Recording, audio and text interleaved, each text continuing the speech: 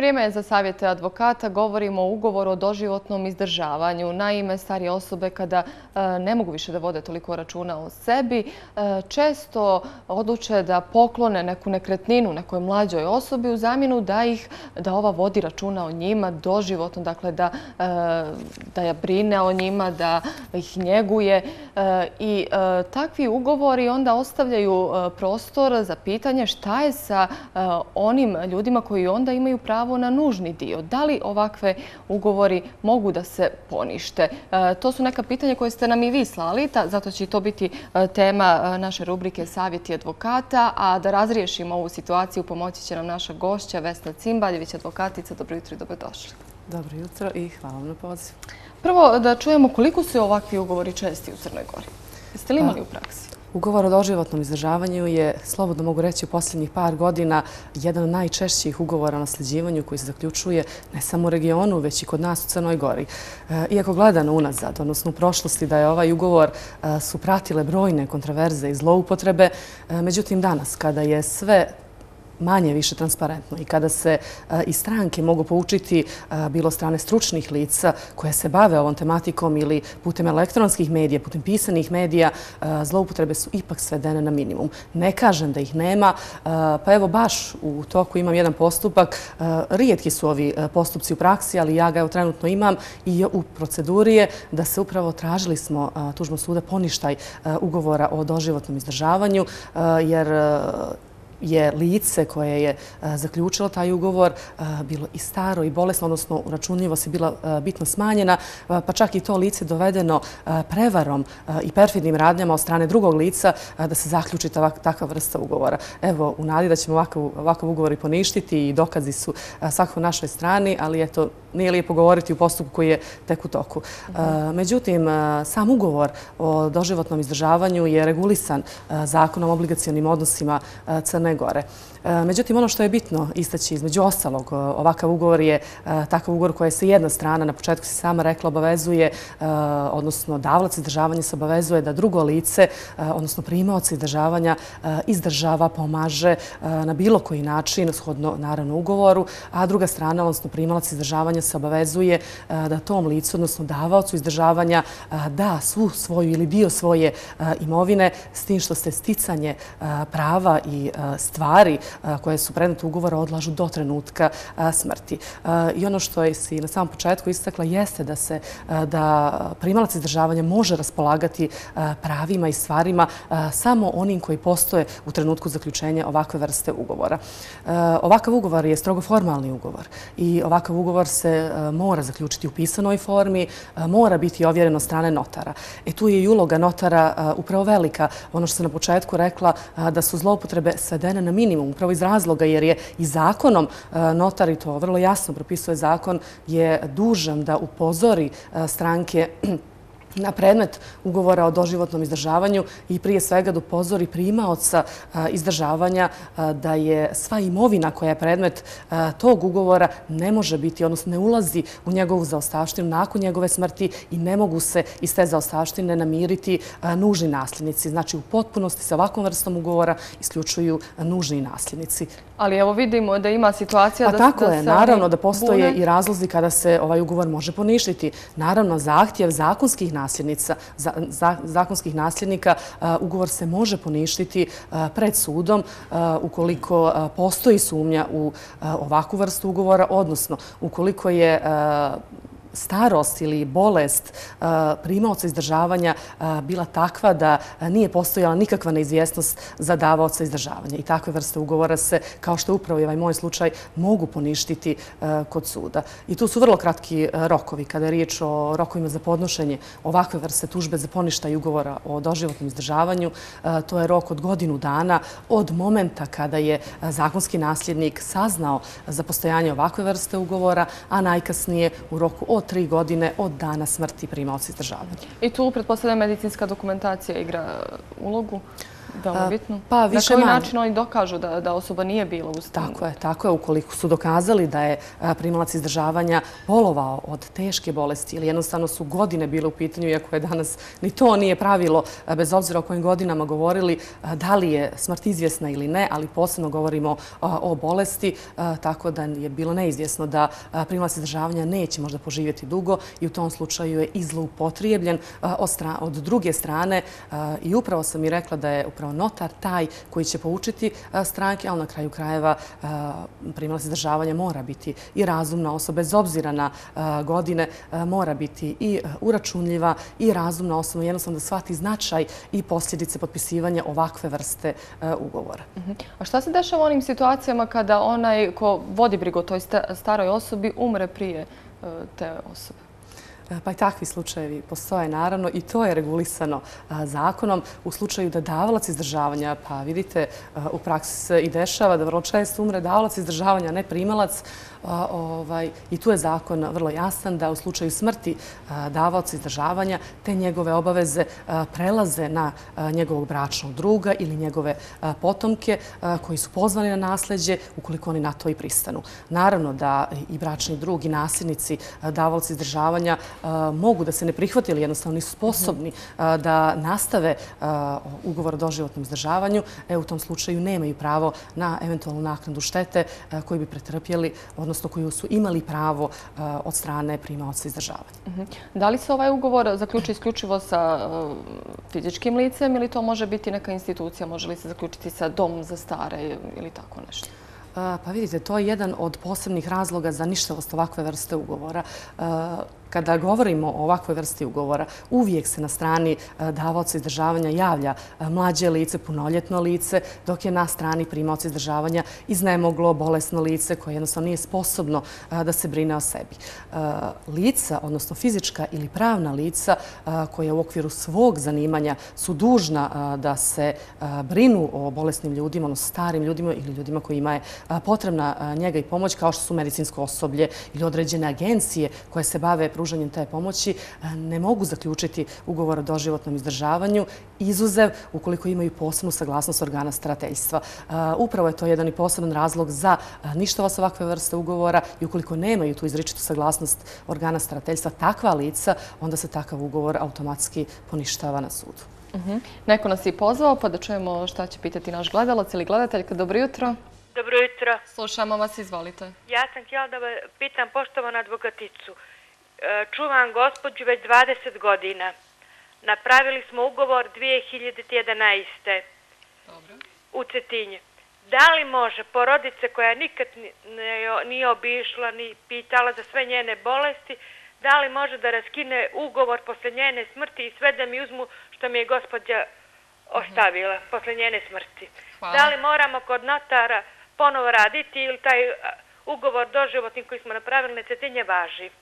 A potpisan je kod notora, taj koji ste potpisali, je li tako? Ne, no, na cetinje advokat, advokatica je bila. Mhm, dobro.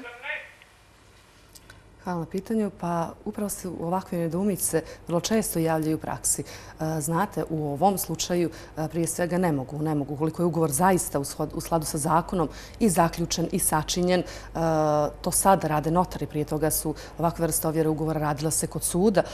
Tako da ukoliko nije ovjeren na zakonom propisan način i u formi koju zakon propisuje, može se iz tehničkih razloga oboriti. Ali u svakom slučaju, gospođe, nema razloga za brigu, jer ukoliko se zaista brine i ispunjava sve te obaveze u slavu sa zakonom, vrlo teško se ovakav ugovor može oboriti na sudu, izuze u onim razlozima koje sam navela da se zakonski nasljedci mogu pozvati na to da je postojala izvjesnost ovaj, zbog bolesti ili eventualne starosti, odnosno nije postojala neizvjesnost za davaca izdržavanja. Tako da u ovakvom slučaju zakonski nasljednici ne mogu baš tako lako oboriti ovakvu vrstu ugovora, tako da bez brige, ukoliko se zaista poštuju sve ugovorne obaveze. Vidite, ugovor ugovor se može raskinuti e, bez obzira ne samo e, između primoca i davi, u stvari zbog odnosa između njih, ukoliko dođe do promijenih okolnosti, ako zajedno žive e, primalac i davalac izdržavanja, ukoliko dođe do poremećenih odnosa, jer jednostavno je nemogućnost ugovora da se izvrši do kraja, može se ovakva vrsta ugovora uvijek raskinuti bili s jedne ili s druge strane i uvijek jedna strana ima pravo da potražuje tu naknadu štete zbog neispunjenja tih ugovornih obaveza. Ako, dakle, osoba koja vodi računa o toj staroj osobi sve radi korektno, ali se jednostavno e, ta stara osoba e, predomisli u jednom momentu, da li e, osoba koja je pružala uslug ima pravo na odštetu? Ima, naravno da ima. Pa ne može se ovakav ugovor tako lako oboriti i jednostavno da lice koje je i korektno i pošteno ispunjavalo sve ugovorne obaveze ostati bukvalno bez ičega na kraju. Naravno da ima pravo na naknadu štete. Shodno pravilima za naknadu štete u sladu sa pravilima imovinskog prava, Znate, vrlo se često javljaju u praksi upravo ove nedoumice. Da li je bolje potpisati ugovor o doživotnom izdržavanju ili ugovor o poklonu?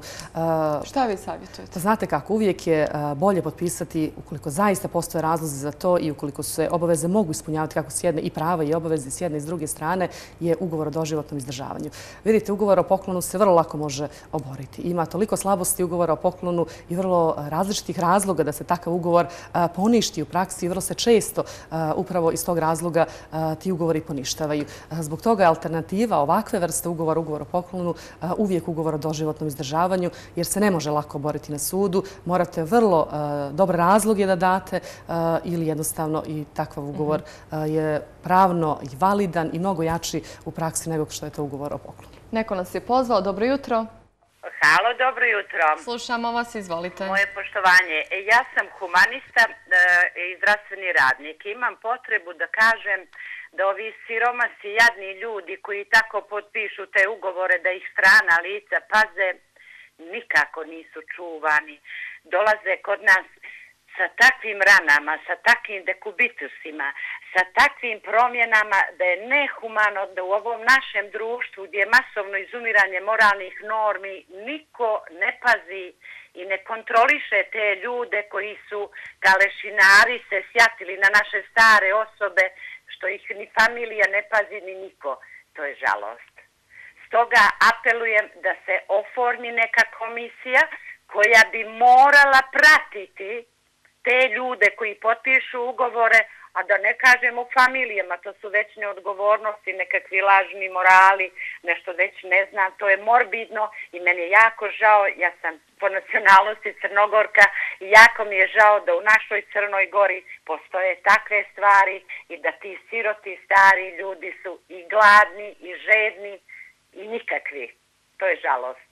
Hvala vam mnogo što ste se javili, što ste sa nama e, podijelili vaš utisak. A naša gledateljka pita da li je ugovor o doživotnom izdržavanju validan ukoliko je potpisan u sudu prije nego što je uveden sistem notara? Pa jeste, naravno da jeste. Sve vrste mhm. Ugovora i bilo kakve ovjere se radilo, bile su nadležnosti suda. U posljednjih par godina to je nadležnost notara, upravo da bi se sudovi rasteretili od velikog obima. Ali ne moraju sad ići kod notara ako je već potpisano kod suda. E, također, šta se dešava ukoliko je ugovor o doživotnom izdržavanju potpisan sa jednim nasljednikom prvog reda, a samim tim drugi nasljednik prvog reda je lišen nužnog dijela, odnosno nasljedstva? Tako jeste, uglavnom se ovakva vrsta ugovora i zaključuje između e, članova porodice, bliskih prijatelja, e, pa sam ugovor i sama zakonska i odredba upravo to da se ugovorom o doživotnom izdržavanju e, upravo isključuju nužni nasljednici. Ali kod ovakve vrste ugovora upravo se mora od strane notara upozoriti stranke šta znači i koje su posljedice ovakve vrste ugovora. Naravno, česti slučajevi u praksi i upravo je gospođa koja je vrlo lijepo podijelila iskustvo da su vrlo česte zloupotrebe ovakvih ugovora upravo iz razloga jer bolesni iznemogli se nekada i putem sile ili prevare ili dovođenjem u zabludu jednostavno natjeraju, eto, ako moram tako reći, da potpišu takvu vrstu ugovora, bilo od najuže rodbine, a da ostali upravo iz razloga da bi se zloupotrijebili drugi nasljednici, da bi ostali bez svog nužnog dijela. I e, takvi nasljednici naravno imaju pravo pravo da podnesu tužbu sudu za poništaj takve vrste ugovora ukoliko se zaista smatraju da su zloupotrijebljeni, da je takva vrsta ugovora nije urađena iz nekih humanih razloga, nije iz razloga da se primalac izdržavanja pomogne, izdržava do smrti, već da se jednostavno prigrabe njegova imovina i da ostali ostanu bez ičega. Tako da naravno postoji mogućnost podnošenja tužbe i na sudu se vrlo lako se može dokazati na koji način je došlo do zaključenja ili zaista su došlo do prevare, zablude ili na bilo koji način je zloupotrijebljen primalac izdržavanja. Ponovo nas je neko pozvao. Dobro jutro. Halo, dobro jutro. Slušamo vas, izvolite. Ovaj, htjela sam da postavim pitanje šta se dešava uh, u slučaju kada uh, osoba, odnosno uh, konkretno moj svekar je ostavio svoje četki, živjeli su zajedno ovaj, imovinu uh, ugovorom o doživotnom izdržavanju, a da prethodno nije proveden postupak nakon što je moja svekrva umrla ovaj, nije pokrenut ostavinski postupak, odnosno podjela imovine između njih. Tako da je on i dio koji je pripadao sve krvi, ovaj, prepisao svoje česti. Uh mhm. -huh. Interesuje me šta su u ovoj situaciji dešava, da li taj ugovor može da se poništi. Dobro, evo čućemo. E, kao što sam na samom početku rekla, ja ponavljam, e, vrlo su kratki rokovi za poništaj ovakve vrste ugovora. To je godinu dana od dana saznanja za ugovor ili najkasnije tri godine od dana smrti primalca uzdržavanja. E, pa vidite, ovakve vrste ugovora se zaključuju za život naravno, čim je ugovor o doživotnom izdržavanju, e, zašto nije pokrenut ostavinski postupak. E, na kraju krajeva svi e, nasljednici, bilo zakonski, bili nužni, imaju pravo da pokrenu predlogom kod suda i na kraju se postupak završava i kod notara, da se pokrene ostavinski postupak i za smrti, bilo da je to oca, majke ili bilo kojeg drugog lica. Zašto u ovom slučaju, ja stvarno ne znam, ukoliko zaista smatra naša gledateljka da je zloupotrijebljena u ovom pravcu, da je ovaj ugovor jednostavno zaključen, da bi ona bila isključena iz svog zakonskog i nužnog dijela, ima pravo neka podnese tu tužbu, pa neka se dokaže zbog čega i zašto nije, da li je zaista došlo do ovakve vrste zloupotreba. A da li je u ovom slučaju ta imovina prešla, pošto je to njegova supruga bila direktno na njega onda? Pa vidite, moralo se Znate kako, e, ne može neko prepisivati imovinu koja nije na njega. E, I e, vrlo je bitno i kod ugovora o doživotnom izdržavanju da primalac može raspolagati samo sa stvarima i pravima koja postoje u trenutku njegove smrti, odnosno koja se sva ta pokretna, nepokretna imovina mora biti na njegov, mora biti vlasnik iz jedan kroz jedan.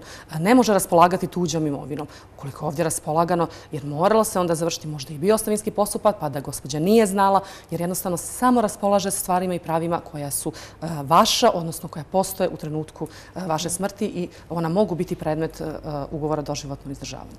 Šta biste na kraju savjetovali našim gledalcima? Da li da potpišu ugovor o doživotnom izdržavanju i kada? Pa dobro, svakako da da. Znate, ovdje su e, nedumice brojne. Vidite, ugovor o doživotnoj istražnju je pravno validan i vrlo stabilan u praksi. Mora se naravno voditi računa o svemu. Pa čak e, tu najveću ulogu igra upravo primilac izdržavanja. Mora ovaj, razmisliti da li, odnosno biti svjestan posljedica ovakve vrste ugovora, da on upravo isključuje svoje zakonske i nužne nasilnike. Ali su to najčešće lica koja su zaista iznemljena pomogla, koja su bolesna, koja nemaju e, mogućnosti i sposobnosti da se staraju o sebi. Tako da u svakom slučaju ja podržavam ovakve vrste ugovora, ali kao i kod svake vrste ugovora e, mora se otvoriti e, četvor očiju, što bi rekli. Ovaj, mora se voditi računa naravno o svemu i o svim posljedicama koje svaka vrsta ugovora, pa i ovakva vrsta ugovora se zaključuje, ali ukoliko se bira između ugovora o doživotnom izdržavanju ili ugovora o poklonu, ja sam uvijek za ugovor o doživotnom izdržavanju, ukoliko će naravno riješiti problem problem na duže staze, jer je ovaj ugovor vrlo teže oboriti, naravno, ako je sklopljen u sladu sa zakonom i prema i svim moralnim pa i pravnim pravilima struke. Mhm. Evo i naša anketa na Instagramu je pokazala da bi većina onih koji nas prati ipak potpisali ugovor o doživotnom. Eto, drago mi je da dijelimo održavanju. Ali nadam se čuli i ove savjete. Hvala vam mnogo na izvedu. Hvala i vama.